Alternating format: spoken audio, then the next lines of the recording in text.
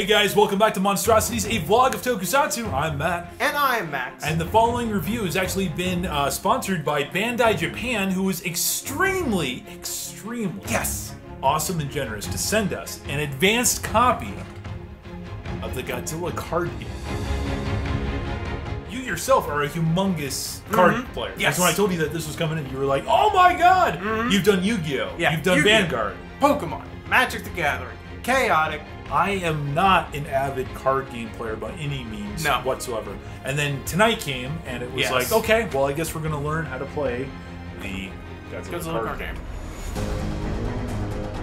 Out of the box, Out of the box. I don't think you're going to be playing this game immediately.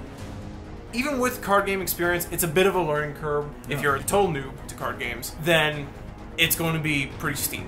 But if you give it enough time, I think you can get the hang of it. The biggest thing that makes it that way is the thing that makes it the most unique the Chrono Clash system.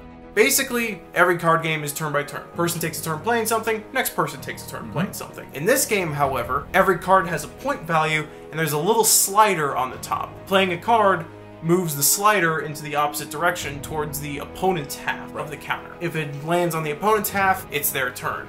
If it lands on your half, it's your turn again. So it's sort of a, a risk reward system where, okay, I can play a really expensive card, but then it's going to move heavy into his turn. He can play a bunch of cards after that.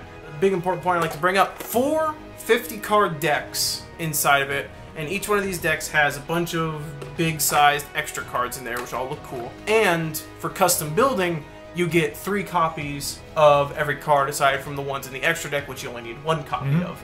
So with those three copies, you have literally everything you need to start custom building straight away. Speaking of decks, we have 4 different decks, four different playing styles. Mm-hmm. Yes, There was the deck- Shin Godzilla deck, There's the Shin deck, the Mecha Godzilla deck, the Mothra King Ghidorah deck, and then Destoroyah Heisei. Yeah, deck, yeah. You know, right off the bat, you look at these cards and you're like, oh my god.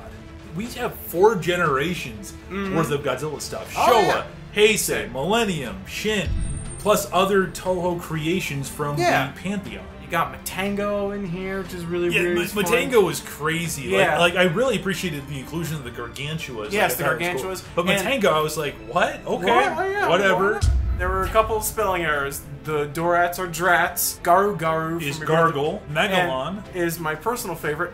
Mega Wrong. Stuff like that happens, but it was just kind of It, amusing. it was fun. I thought the artwork for uh, Shin Godzilla Fourth Form using heat beams was kind of fun and different. that card alone, Shin Mm-hmm. Godzilla with a Blue Breath, is guaranteed to give uh, some of our other fellow YouTubers at least 15 videos Yes. worth of theory Yes, videos. at least. Shin Godzilla's Blue Breath explained. I can't wait for that one. Can't wait for it. Other things that this game comes with is obviously a rule sheet. Uh, you got um, four game mats. and Uh, you also include two tournament packs. That's true, which Mm-hmm. included for us, we had the holos of uh, Mothra 92 Yep. and the Oxygen Destroyer. Uh, there are a couple of things that you're going to need that aren't included within the game, which isn't necessarily a big deal, but it also wasn't something that I had just laying around. Mm-hmm. Yeah. One of which was a die For quests. Mm-hmm. The quest aspect of this, which is something that we didn't really get into that much. We were trying to get a baseline understanding for, and that's a little more complicated, advanced. But basically, there are, there are two ways to win this game. You can either take what is the equivalent of your opponent's health bar, or if you have five quests that are completed from your monsters, Mm-hmm. then you can win the game. From the perspective of, of somebody who, again, is not a major card game player, but is in fact just a uh, Godzilla fan, I, I got to tell you, like, if you guys are going to go pick this up, I would fully recommend uh, that you're in one of two state of minds. Yes. One, you already have experience playing card games, so therefore trying to figure this out isn't going to be a frustrating experience for you. The other one is that you're like, I've never played a card game before, but I would like to learn. Having prior experience would be a major benefit for Yes. you if you plan Yes. on, on doing this and to get the most enjoyment out of the product, for sure.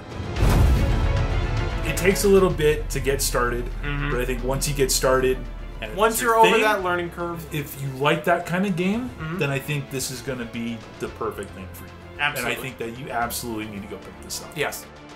Once again, I would like to give a um, humongous, monumental thanks to Bandai Yes. for letting us try out uh, the Godzilla card game with that said, I think that about wraps it up. I So, think we're about good. for Godzilla's sake, keep watching Tokusatsu for the good of mankind and yourselves. I'm Matt. And I am Max the Duke.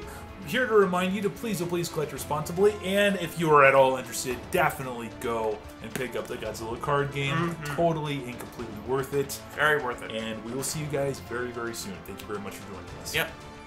Bye. Adios.